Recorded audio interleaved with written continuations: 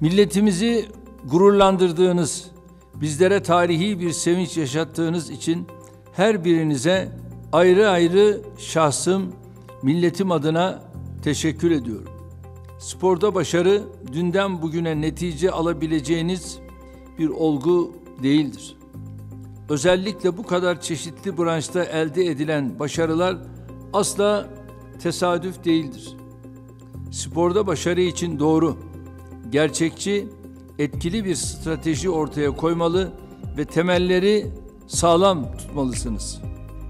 Özellikle modern yatırımlarla çağın teknolojisini altyapıya yansıtmalısınız. Biz işte son 19 yılda diğer alanlarda olduğu gibi sporda da bunu yaptık, bunu başardık. Ülkemizdeki toplam spor tesisi sayısını 1575'ten 3915'e yükselttik.